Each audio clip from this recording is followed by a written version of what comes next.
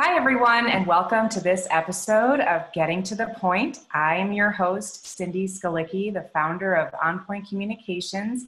And today I'm bringing you a special guest. Her name is Jane Stein, and she has a business called Your Franchise is Waiting. How are you today, Jane? Thanks so much for joining us. Very well. Thank you.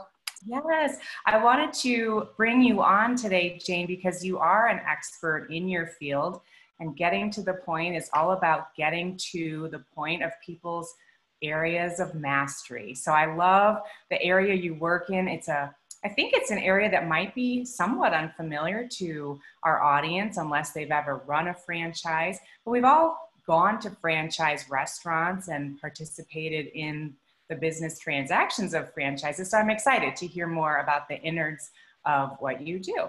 Why don't I first start by just sharing with the audience how we met years ago.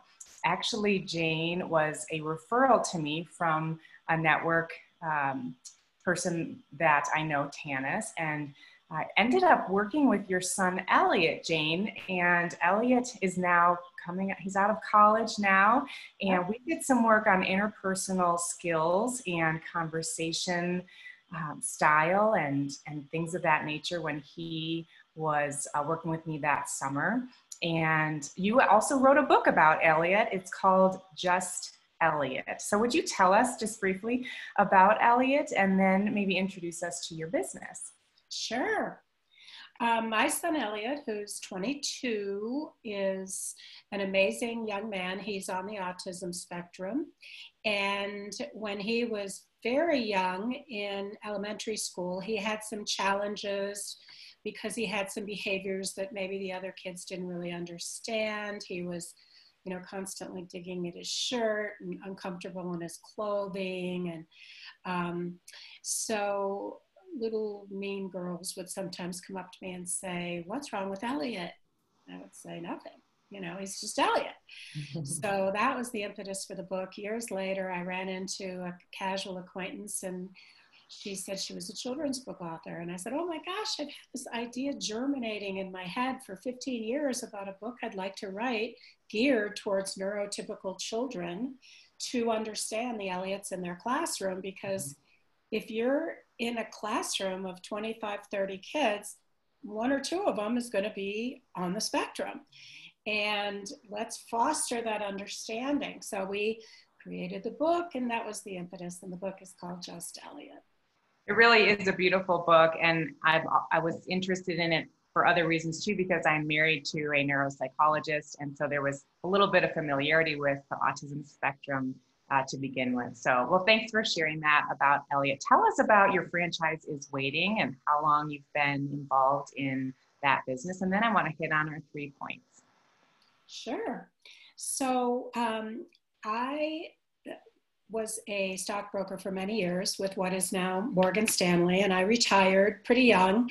And about eight years into retirement, I was very bored and wanting some intellectual stimulation beyond volunteering. And I started clicking around on the internet to buy a franchise because my understanding of a franchise was you throw money at it and somebody runs it for you, and you just reap the lovely dividends. So easy. so I start clicking around on the internet, and my phone is literally lit up with franchise brokers wanting to sell me a franchise. Um, and I, it was kind of an aha moment. The, the summary of the big aha was this is an industry that's ripe for professionalism because I was not impressed with any of the seven or eight gentlemen that I spoke with on the telephone.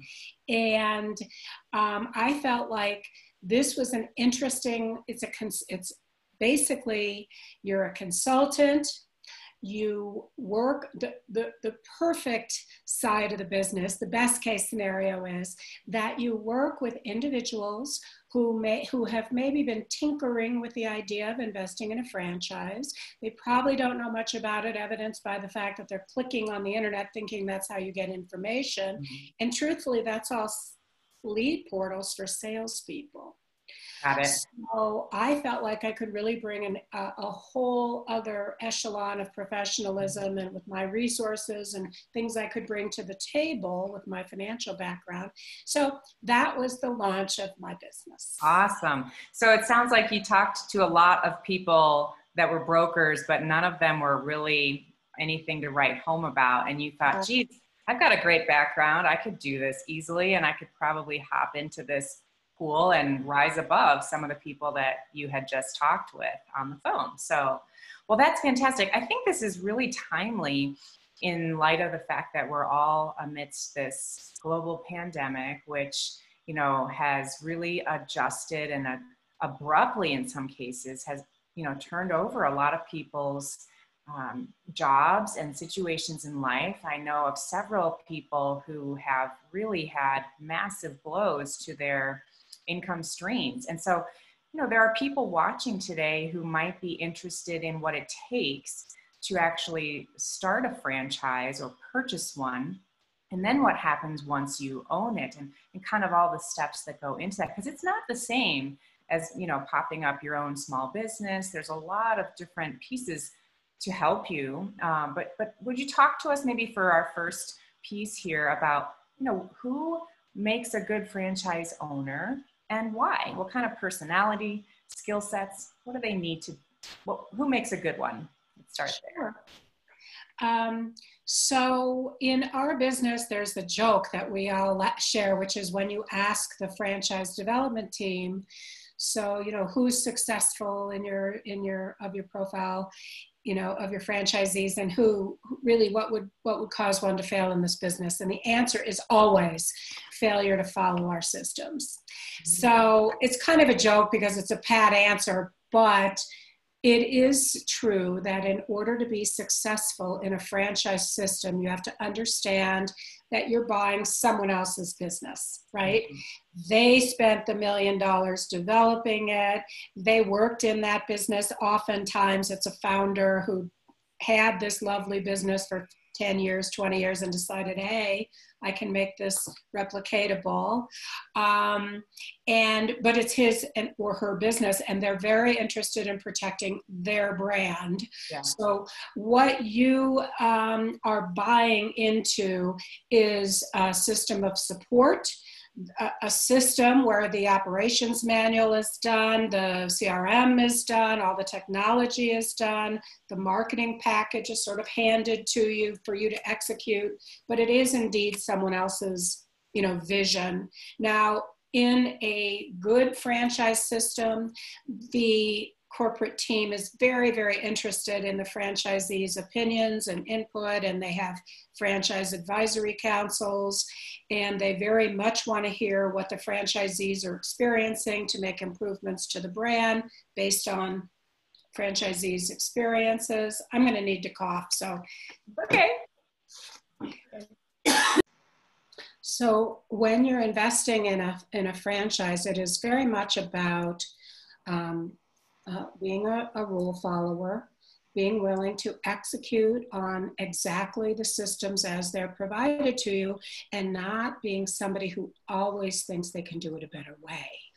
Um, in an emerging brand where they, you know, are brand new and maybe they only have five locations open, it very well may be true that you have a better way. And if you're in a brand like that, that's different. You're able to help the brand you know, prosper by using your field experience. But in a brand where they've already been successful, there's a hundred or more open locations, they figured it out. So it's really behooves you to just do it the way they tell you to do it. And the people who chafe against that really um, struggle they struggle in the brand and they struggle to execute properly. And that's why most franchisors really want military people. Oh wow, that's fantastic. That's that's fascinating. I completely see the connection there. They're very good at following orders, doing things by the book, and that makes that actually makes perfect sense. I love that. You're reminding me of, uh, you know, this past spring our family kind of got in, into watching this show called The Profit by Marcus. Oh my God, I'm so in love with Marcus. Yes. Yeah. he's an amazing leader, and I really uh, have grown to enjoy watching him converse with his you know the people he's trying to help and in one of the episodes it was all about this franchise location and it was about greek food and i'm not remembering the name of it but what i found so fascinating was that when he talked with the franchisor that's the owner right of the franchise and and then the franchisees the people that are you know doing the, that are holding down the forts in other locations he hardly ever communicated with them and left them kind of to their own devices. And there was this relationship that was fractured. So he came in and did, you know, another layer of, of help and provided some rep- reparation for that so that they could all grow together and feel connected. But I really appreciate what you're saying about how the owners you know they've done their they've done it all. They know what works. The system they they want to duplicate is already there for you. So if you think you want to go in and be innovative and try your own thing maybe franchising is not for you but i think the value is in having the trust. Would you agree? Like you have to trust the person whose franchise you bought that they know what they're doing and they're kind of letting you do more of their you know brand building with them which is kind of cool. 100% yeah. And that's why and it will lead right into the next segment but that's why due diligence is so important because yes it's important to trust them and you don't often know who the corporate team is mm-hmm. until you're way down the road in the discovery process because mm-hmm. they have sales teams Right. so you're talking to this development person who you have rapport with, and he or she is great. Guess what? You're never going to talk to that person again. They're right. not the ops person. They're not the day to day contact that you're going to have. You have to meet those people. Right. Eyeball to eyeball. And Jane, before you do that until the very end of the process. Right. Could I slide in here? Maybe could for our audience just to understand and have some franchises in mind give us a quick like in my mind and because this was enlightening when you and i talked offline prior to this recording um, you know i'm always thinking of places like subway and my brother has talked a lot about some coffee places that are up in you know started up in the northwest dutch bros is one i mean i know some of the franchises can you give us a list of like some that people already know and then you told me about some others that people would probably never even know are franchises just so we can kind of contextualize what you're about to tell us about due diligence. Right. So when people think franchising, they automatically think food. Mm-hmm. Um, you know, or maybe or, or other brick and mortar kinds of con, you know concepts, car washes, food, uh, laundromats, um, you know, retail, um, paint stores, whatever. But the truth is, there are literally 3,000 operating franchises in any given moment in time. Mm-hmm. And there's franchises for everything from being a franchise broker, mm-hmm. that's a franchise. That's a franchise. I love it. To, um, oh my gosh, the whole category of home services, which is providing, if you just think about it, anybody that you would hire to do anything in your home. Like Merry Maids? or maids, yeah. maids, mosquito maids, mosquitoes, painting, uh, roofing, windows, fixing up your kitchen, remodeling. Wow. Okay. Um, there's business to business things where you're selling products and services to businesses, whether it's printing or shipping or this, uh, or or the cleaning uh, strategies for exclusively for hotels and providing the cleaning services exclusively for hotels and wow. providing the bathroom cleaning services exclusively to restaurants. Guess what? That's a, a franchise for that. that's a service. You have to have somebody come in three times a week and clean your darn bathroom unless wow. your employees are doing it. Wow. Um, there's franchises to service uh, and clean fitness machines. There's serv- there's franchises to um, have events, there's I, I, I no end. It sounds like yes. So that's perfect. I love the. That's a great you know feeder into like so if you want to own a franchise or you're thinking about it talk to us about what to do in that due diligence process so um, the first thing that i think you should think about is really picture and imagine what you like to do, what you envision yourself doing on a day to day basis. And I can prompt that by asking some questions like, well, do you find that you get along well with blue collar workers? Do you find that you get along well with young kids, teenagers? Do you find that you're very good at a lot of balls in the air at the same time? And through those discussions, we sort of come to an understanding of some basic business attributes. Okay. I've encouraged people don't think about a business name or think about the business attributes. Do you want to work Monday through Friday and be done at five o'clock? Do you want to network and join chambers and get to meet other small business owners? Do you envision yourself being involved at all in this business, or do you envision yourself hiring a manager who's taking care of everything for you? That's a different kind of a business. Mm-hmm. Do you envision yourself being able to deal with 75 or 80 part-time employees or would you rather have four or less employees that are highly educated and they're your team and that right. you're meeting with your leadership team so we, we talk about those business attributes and the good and bad about recurring revenue versus one-time larger ticket items versus okay and what does recession resistant really mean? Because everybody right now is interested in a COVID proof business. Yeah, right. Sure, understandably. Well, if someone says yes to all the right questions in the little survey that you just gave, and you feel like they are a good fit for a franchise, for franchise ownership, but they don't know what kind of franchise they would want to purchase, is that kind of step two in the due diligence process, helping them find one that suits what is it their personality their training what they like to buy or wear or do? I mean how do you fit that to the person. All that through through all those questions i was just covering and more okay. we then we then initially narrowed down by industry category. Okay. So okay now i feel like because we've been chatting about the pros and cons of physical locations versus home base where your trucks and techs versus warehouse versus wherever we've narrowed it down to industries. And maybe we're going to be looking together at closet design because the person is interested in design. Maybe we're going to look at decorating. Maybe we're going to look at uh, window design you know designing maybe whatever. We've narrowed down to an industry. And then it's my job that's where i take over okay. to go into my database of 800 brands and look at their disclosure documents, look at their lawsuits, look at their failure rates, look at their annual average income if it is provided in the item 19. Mm-hmm. Um, the due diligence process in my business is silly. It's so antiquated. It's embarrassing sometimes to be okay. part of this industry. you cannot find anything of value on the internet. You, mm. as a person, could not go on the internet, find the disclosure document, find the average income. The sales teams are not allowed by Federal Trade Commission guidelines to make any sort of income projections to you. So it's really.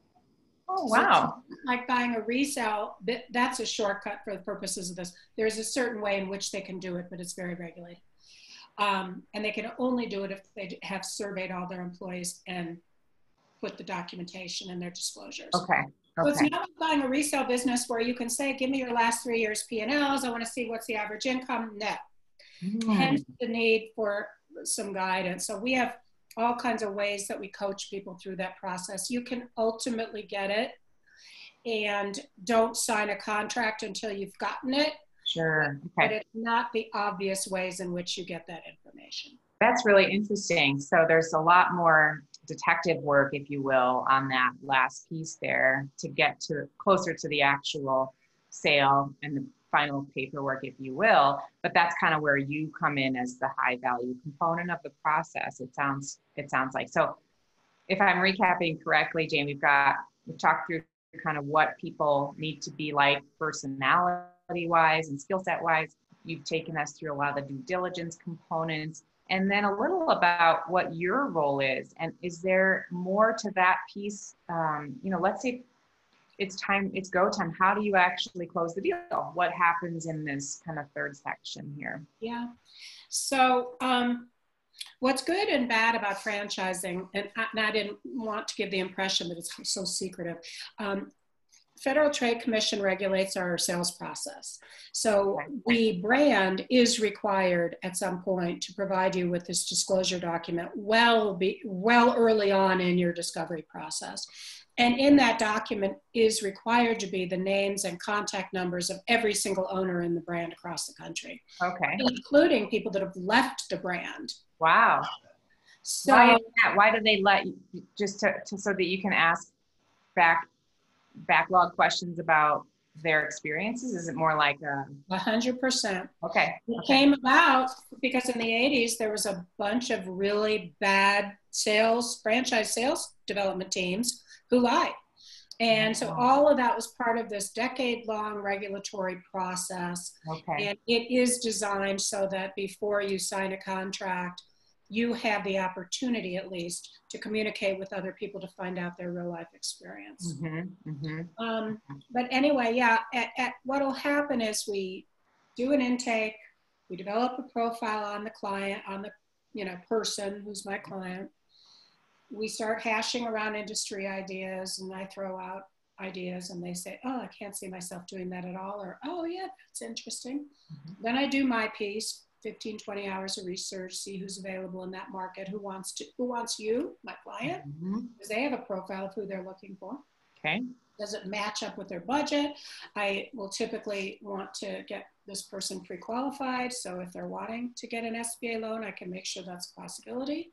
Because if not, we have to go another way. Okay. Um, and ultimately, I am coaching them through the sales process. I am not selling the franchise, that's not my role. Right. There's a development guy or gal who's doing that. I'm talking to you every week, kind of debriefing, mm-hmm. making sure you did you ask this, did you ask that? Okay, now we want to start talking to franchisees. We have a whole coaching session around that. Okay. I provide them with tools and resources to capture the data of what they're hearing, like P&Ls, et cetera. Um, I've done all kinds of market studies on that particular market because a lot of these people are in towns that I don't know. So I have a mm-hmm. software program. We've kind of researched what's there, what's not there. Is this going to be a good fit for that demographic market? Wow. At the end, they get coached through talking to franchisees when they're ready. I introduce them to five different franchise attorneys. Pick one. That's all these guys do is review documents. That's actually the first time somebody's written a check. Wow. Okay. Wow. That's a lot that you just said before that check got written. I always tell people now's the time. If you're serious, you're gonna have to pony up your two thousand dollars, not to me, right. to the lawyer. Right. And you want to do that before you go to what's called Discovery Day. Discovery okay. Day is when you also spend your own money traveling to corporate office. Used to okay. pre-COVID, now they're all virtual. Right. You go to corporate office, you sit down with the management team, You've been studying this franchise for three months. It's the first time you've met the principals. Oh my. It's an exciting day, I bet. A little nerve wracking, but probably exciting. Yep. Exactly. And um, and then uh, you know, and of course, I can hook them up with the lenders and all that. But ultimately, if they invest in the franchise, that's how I'm paid. So I get paid when okay. the franchise.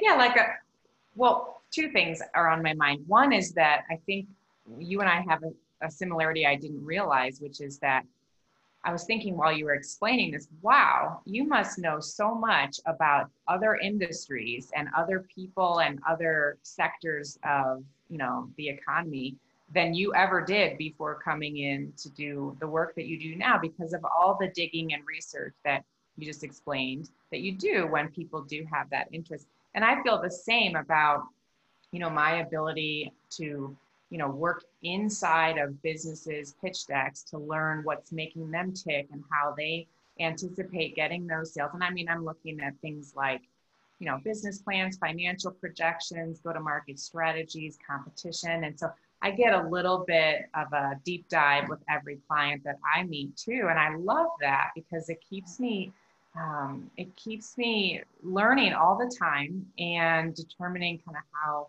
um, you know, what what areas most intrigue or interest me if I might go down and and, and engage further with that company and because I loved it. But I bet you have the same kind of feeling. And then the other um, connection I'm making that you and I talked through is kind of like a real estate agent. And I bet, you know, I bet your I nailed it feeling as a as as a you know in your work has to do with making the perfect match and seeing that happen, right? I mean, can you give us an example of one of your I nailed it feelings with a client? You don't have to give names, but what what happened that sure that, that gave you that? So my first deal, I got in the business in 2015. Okay. And I reached out to a woman on LinkedIn because I have a special fondness for working with women. That's my branding is all around women oriented. Okay. That's good to know. And that's my area of specialization, if there is one, is that I love working with women in reinvention. So anyway, she I reached out to her on LinkedIn because something she posted and sent her something. And four months later, she reaches out and she's kind of in a desperate situation. She just came out of a divorce. Mm-hmm. She has a child. She's renting her apartment. That right there, it means no loan, right? Oh, okay, right. Sure. collateral. She has X amount of dollars and she has to make money quickly. And her background is hospitality. She had been doing sales in, in a catering company that treated her terribly, and she worked seven days a week and nights and mm-hmm. made kind of a lower salary.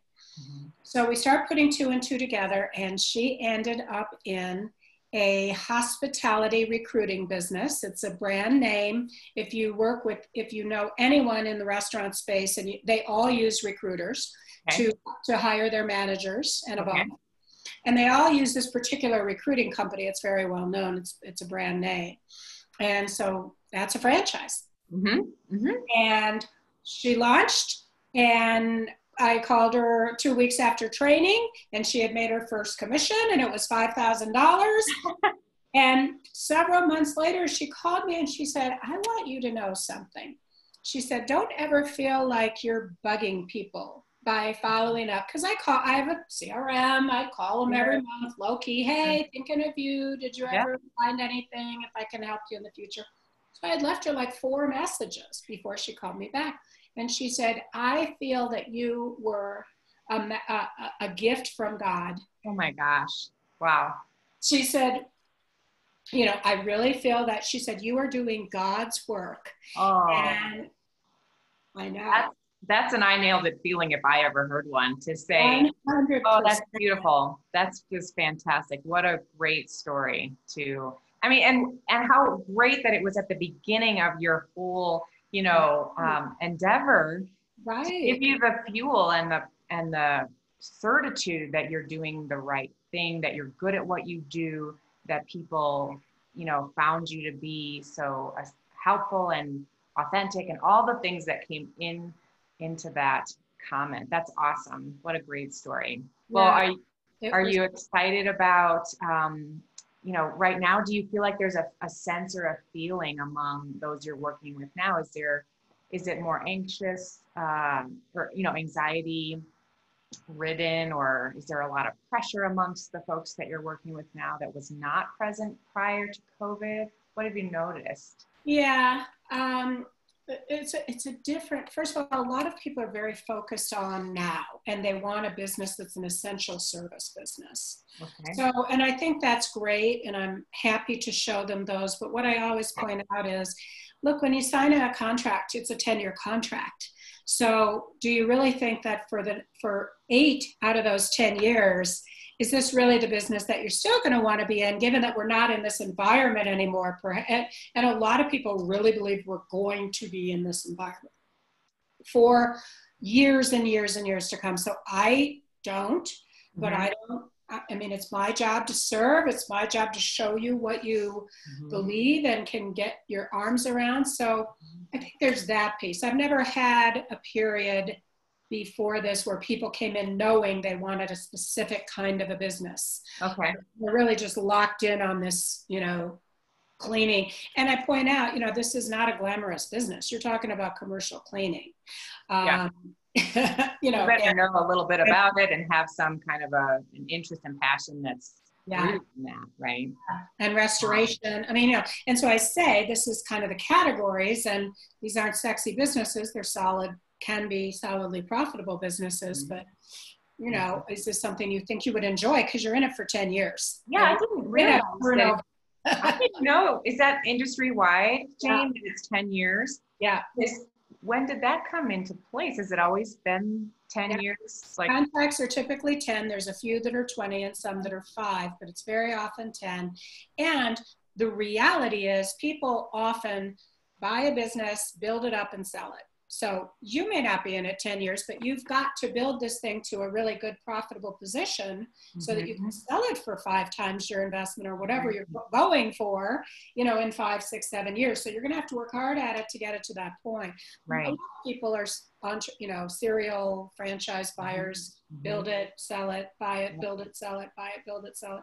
And also buy it, build it, and then add on to the portfolio.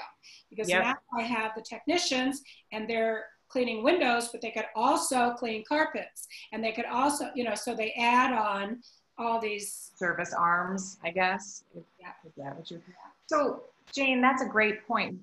You've talked a lot about the people you're helping who um, want to buy a franchise and run it and you know own their own business in a sense. What about people who, you know, do you help people with hey, I've got this amazing business and I want to duplicate it regionally.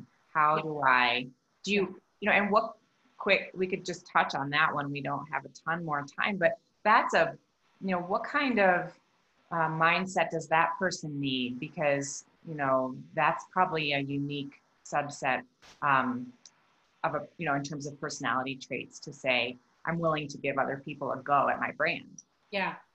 Um, yeah, and I want to come back and just clarify something. So there's two sure. people that buy franchises: the owner-operator people. Those are the people that are worried, worried about their jobs. They're in oil and gas. They need a way to make a living. Okay. Um, that's probably 80% of my clients. The other 20% are wealthy people that are absentee owners, and they're looking for alternate streams of income, um, and they're just adding on to their portfolio. You know, because of the rich man, poor man book. You know, they they realize they need an income. They need a salary, they want rental property, and they want a business stream. They want three alternative income streams. Um, the what was the question? I apologize. Well, it's okay. What what kind? You know, when you do you oh, help people start their own? Yeah. Mm-hmm.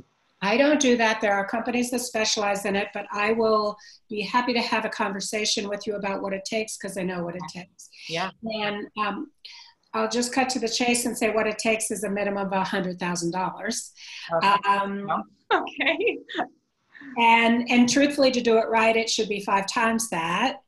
And wow. you may get lucky if you have a little store and you do well and you put up a sign and you say, Would you like to franchise this store? You may sell a few more, but mm-hmm. to really scale it and get to that 100 plus locations, mm-hmm. which less than 7% of franchises ever get to, wow. Um, you are going to need a lot of capital and a lot of backing. Okay. Um, but the answer is brand it right from the beginning. Mm-hmm. Um, make sure that the unit economics work. Nobody wants to buy a business to make $30,000. That's what I call mm-hmm. a hobby. Yeah, right. not a business. and right. uh, make sure your business, the owner, can recreate this in net six figures. Okay. Um, not make that happen. You know, wow. It's a big commitment then. I mean, there's a lot going into that, and you need to have the capital behind you to make the investment happen, to make that income stream come alive. It sounds, but it sounds exciting. It sounds really exciting, and and uh, it's been growing in the last couple decades into such a totally new space of web businesses that are not always brick and uh, brick and mortar. So that's been one of the interesting pieces I've learned since we started chatting about it.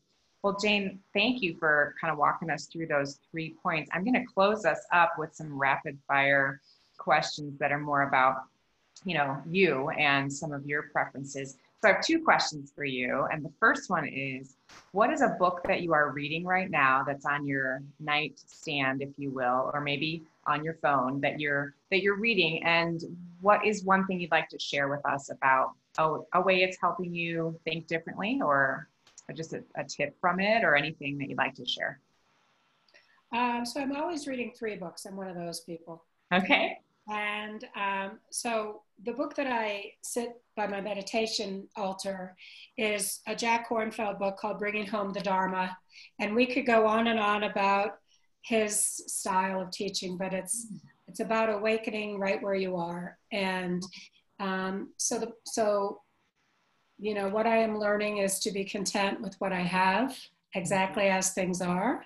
Mm. And I'm one of those people that always, always, always, when I wake up in the morning, I am thinking about things to make that day better, to make my business better, to make my family better. Mm-hmm. And I am learning that uh, sort of the secret to happiness is just being 100% awake in this life, in this moment, and it's perfect as it is.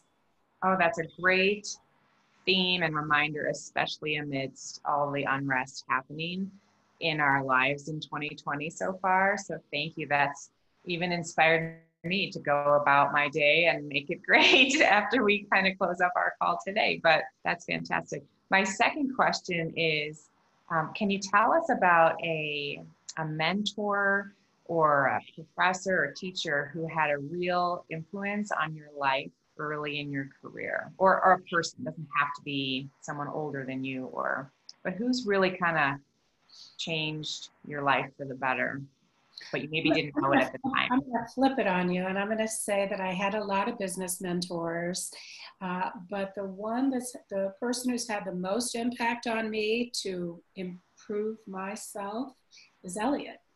I thought you might say that, which I think is is fantastic. So, can you expand on how? Yeah, you know, Elliot is someone who, because of his autism, that's kind of his greatest gift. The mm-hmm. kid has absolutely no ability for guile, to try and impress you, to not say exactly what's in his head. Um, and so it, and he's brutally honest, like yeah. all the time with yeah. himself too. He doesn't mm-hmm. pretend. Mm-hmm. Um, to be someone that he's not. Mm-hmm. And so there are just so many Elliotisms. I can't even begin to tell you, but it, the joy of, of raising a young man who has had to struggle for everything that he's ever achieved and just perseveres. He just perseveres. And most of the time with a pretty good outlook. He's pretty aware yes, of, he what he is, what he isn't, what his strengths, what his weaknesses, what he what he wants to do. I remember when he wanted to go to college, I started prepping him when he was in eighth grade about maybe trade schools or fantastic mm-hmm. opportunities, you know, two-year colleges to be a, a electrician. Those guys make a huge amount of money. And he turned to me, eighth grade, and said, Mom, I am not going to a two-year college. Stop talking about that.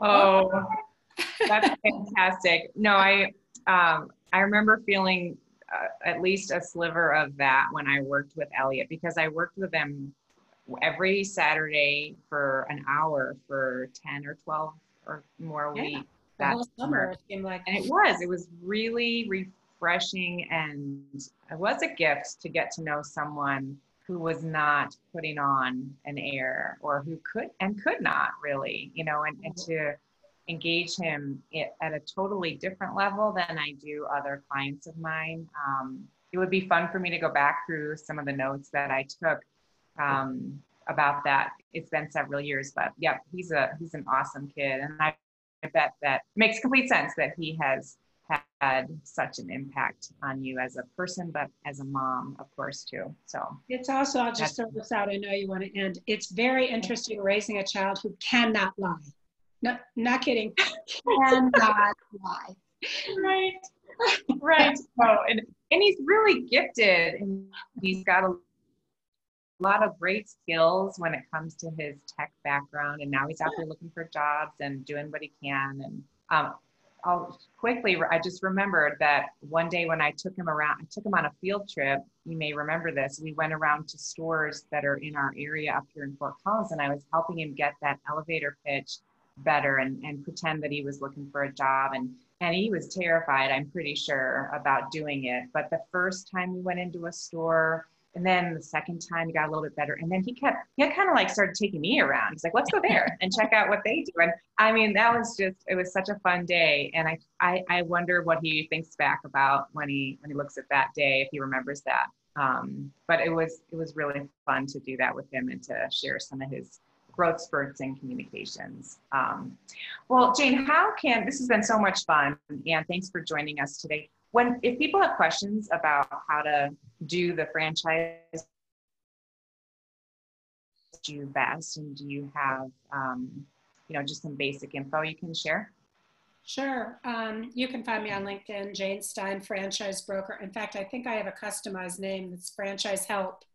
Um, my business is called okay. Your Franchise is Waiting. So if you can remember that long, mm-hmm. ridiculous name, Your Franchise is Waiting, Google it. I'm there. Uh, but Jane Stein LinkedIn. And if you put franchise help, I think it'll pop right up. Awesome. Yeah, actually, I love the name of your business. It's very clever, and my uh, rhetorical brain kind of likes it because it's already telling me that I'm.